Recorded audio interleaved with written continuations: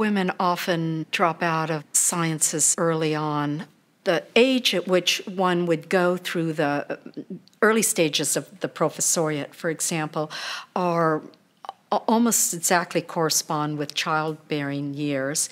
And so the choice to have a family uh, can, for some, can work out beautifully, and for others, can be a, a real challenge. So I always tell women to choose well your partner uh, because that will make a tremendous difference in your uh, your lifestyle and whether you can truly balance it all. And I was I was lucky. I I did choose well. Sometimes that's almost serendipity as much as by active choice.